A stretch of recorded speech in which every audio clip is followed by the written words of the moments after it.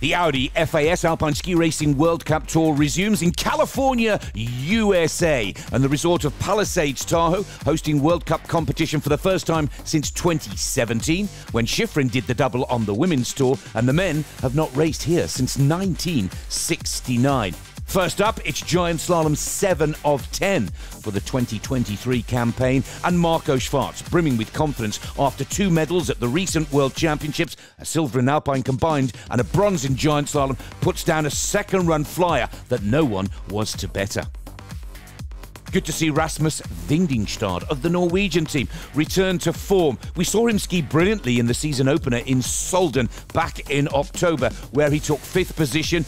But here on the Red Dog race piste of Palisades Tahoe, Windingstad records his first podium of the 2023 Tour. With the top 30 going in reverse order, the piste conditions were getting rougher and tougher for the faster racers from the first leg. Pinturault, second quickest from the first leg, he too brimming with confidence after taking gold and bronze at the World Championships, struggles in the closeout and drops from second to sixth position.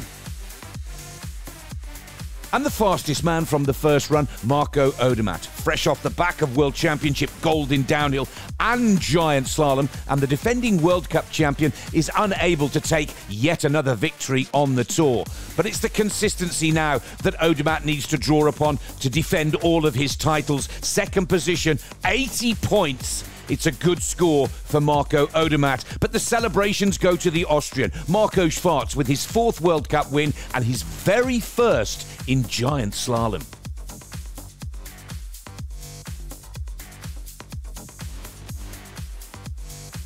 It's a well deserved victory for Marco Schwarz, one of the hardest working skiers on the World Cup Tour, racing in as many disciplines as he possibly can. Delighted to beat Odermatt and the Norwegian in third.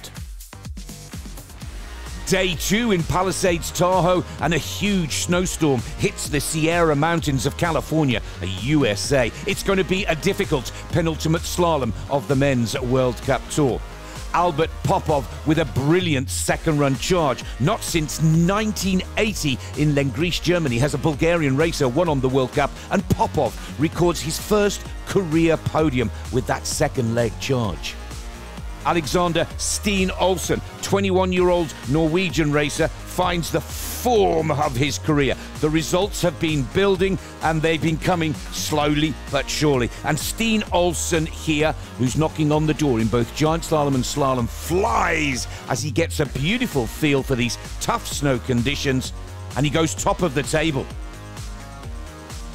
AJ Ginnis is another skier finding form in the mid and latter part of the tour second in the last World Cup in Chamonix, and a silver medalist at the World Championships. AJ Ginnis again puts down a flying performance, one one hundredth quicker than Steen Olsen. But video analysis shows that the Greek racer straddled through the undergate and a disqualification is imminent.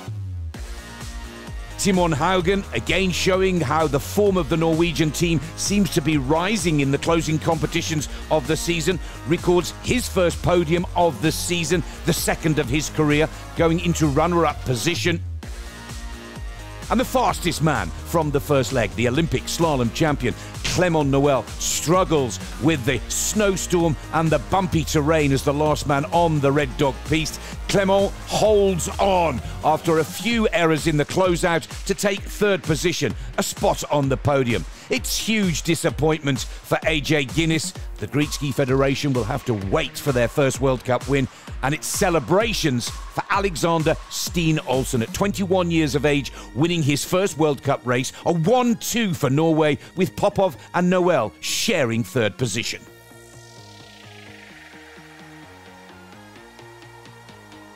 It's uh, so unbelievable, and yeah, with the I just don't know what to say. It's so crazy. Mathematically, any one of the top four skiers in the slalom standings can take the Crystal Globe in this discipline for 2023.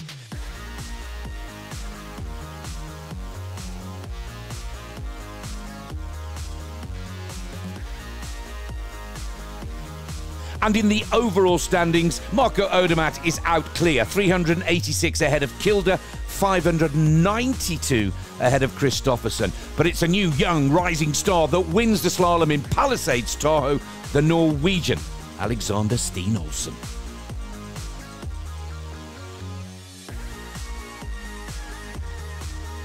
The Men's World Cup Tour moves on to Aspen, Colorado. Two downhills and a Super G from the 3rd to the 5th of March. And if you want to see more detailed news and action, please join us at FIS-ski.com for the last 10 races of the Audi FIS World Cup Racing Tour.